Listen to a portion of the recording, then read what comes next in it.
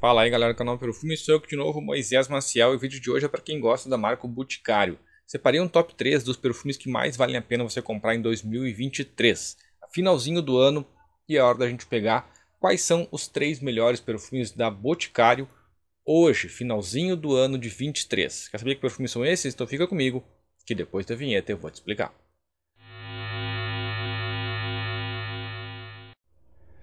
Bom, se é a sua primeira vez aqui, caiu de paraquedas, não sabe o que está acontecendo, não sabe quem sou eu. Bom, eu sou Moisés Maciel, esse aqui é o canal Meu Perfume e a gente fala aqui de perfumaria todo dia, 11 e meia da manhã.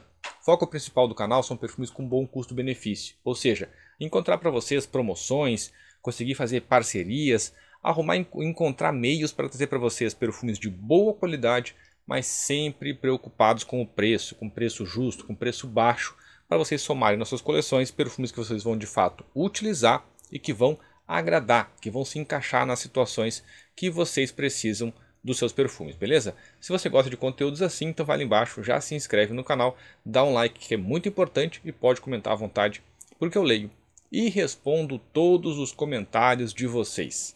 Enquanto isso, vamos preparar aqui o conteúdo para um vídeo bem rápido, bem direto ao assunto, para ajudar vocês com três opções de boticário que valem muito a pena, de perfumes muito fáceis e de muito boa qualidade, beleza? Vamos lá. Como a gente sabe, o Boticário ultimamente está pegando pesado nos preços, então já que a gente vai investir no perfume nacional com os preços que a Boticário está praticando, é bom pensar bem e escolher direitinho. Separei para vocês aqui em opções então que vão se encaixar nisso. O primeiro dessa lista, Malbec Black. Para quem gosta de Malbec, que é um Malbec com cheiro de Malbec, esse aqui vai te trazer isso com uma excelente qualidade de construção, com notas olfativas dignas da perfumaria importada da mais alta qualidade e um ótimo desempenho também. Vai fixar tranquilamente por umas 8, 9 horas, até 10 horas na sua pele. Vai projetar tranquilamente por umas 2 horas e meia, com a forma intensa, bem cheia, bem formado. E é um perfume bem amadeirado para quem gosta de Malbec raiz e quer algo para usar à noite chamativo, envolvente, misterioso, uma notinha de couro bem limpa de segundo plano confere um ar mais masculino, mais misterioso e também até mais viril para esse perfume. Combinado com especiarias como canela e pimenta na saída, a tradicional base amadeirada com mogno, que aparenta e aparece muito nesse perfume, e em segundo plano o toque vínico tradicional, que é a assinatura da linha Malbec. Ou seja, bem Malbec mesmo, bem clássico de Malbec. Mas aqui todo ele envolto numa aura mais escurecida, mais fechada e por isso muito menos versátil. É um perfume que eu sempre uso muito mais à noite e com temperatura de amena para baixo. No calor, definitivamente não dá para usar, até dá para usar durante o dia se for em ambiente climatizado, porque aí ele vai ficar controlado. Em calor muito forte, ele tem uma nota de canela que é bem intensa nesse perfume que costuma sair um pouquinho do controle quando a temperatura está um pouquinho alta e toma conta do perfume. O perfume fica só com cheiro de canela ou a canela fica muito mais forte do que deveria. Por isso é um perfume pouco versátil, mas de extrema qualidade, de muito boa performance e para quem gosta de Malbec de verdade, esse aqui vai te trazer tudo que o Malbec deveria trazer, sempre num perfume muito agradável.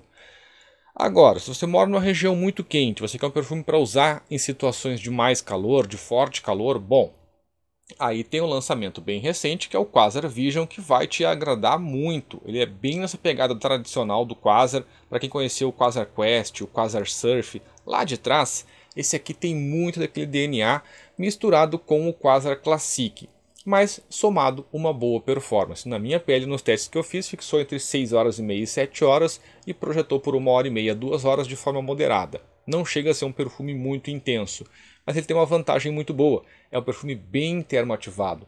Então, se você for fazer uma prática esportiva ou sair de um ambiente climatizado para um sem climatização, onde a sua pele esquenta mais, e se você chegar a transpirar principalmente, o perfume ganha muito mais força, fica muito mais vivo na pele e fica muito mais chamativo. O acorde geral dele bem aromático, bem refrescante, algumas notas mais ozônicas, mais leves, mais aquáticas, mas eu não senti nada de calônia aqui nem para o bem e nem para o mal. O calônia é uma nota que algumas pessoas têm alguma resistência, porque em alguns tipos de pele ela tende a ficar com cheiro mais de clara de ovo, mais excessivamente salino. Eu não percebi isso nesse perfume, até porque eu não sinto esse acorde salino nele. É mais um toquezinho amargo no coração do perfume. que não chega a ser aquele acorde mais de maresia.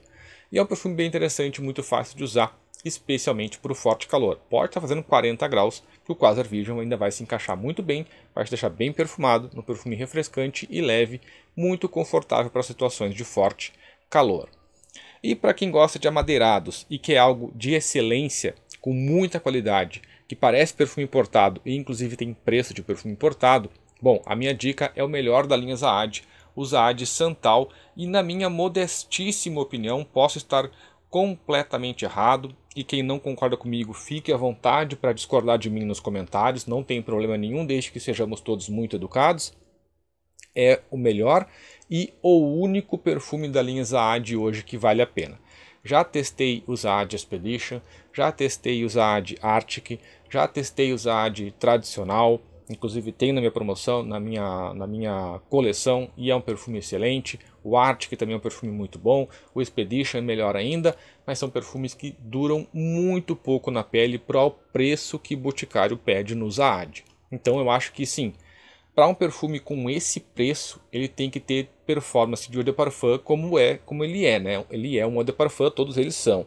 Só que nem todos têm performance de eau de parfum. O Zaad Santal tem a nota de sândalo que aparece muito num acorde geral que é sempre amadeirado mais cremoso. Ao contrário do, do Malbec Black, que é, um, que é um amadeirado especiado, o Zaid Santal é um amadeirado cremoso, mais fácil, mais redondo, muito gostoso de usar. Na base, até levemente adocicado, mas não chega a ser um perfume abaunilhado ou excessivamente ambarado. Ele fica levemente adocicado numa base um pouquinho mais aquecida também excelente qualidade, notas de muita pureza, de muita naturalidade, um perfume muito bem construído, muito bem pensado e dessa vez com ótima performance. Fixa muito bem e projeta muito bem.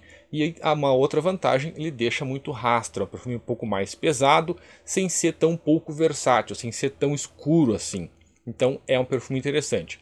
Na minha pele, nos testes, fixação de 9 a 10 horas e uma projeção de 2 horas e meia intensa.